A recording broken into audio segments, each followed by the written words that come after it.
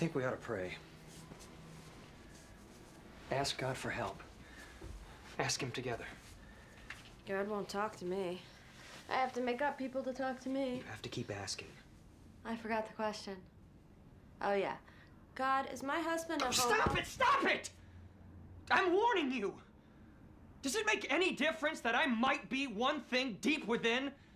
No matter how wrong or ugly that thing is, so long as I have fought with everything I have to kill it. What do you want from me?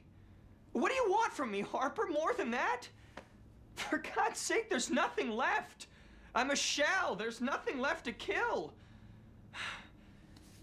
As long as my behavior is what I know it has to be decent, correct, that alone in the eyes of God. No, no, not that. That's Utah talk, Mormon talk. I hate it, Joe. Tell me. Say it. No, all I will say is that I'm a very good man who has worked very hard to become good, and you want to destroy that.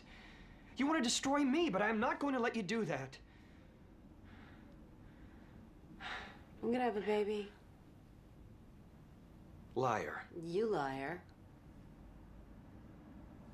A baby born addicted to pills. A baby who does not dream, but who hallucinates, who stares up at us with big mirror eyes, and who does not know who we are. Are you really? No. Yes. No. Yes. Get away from me. Now we both have a secret.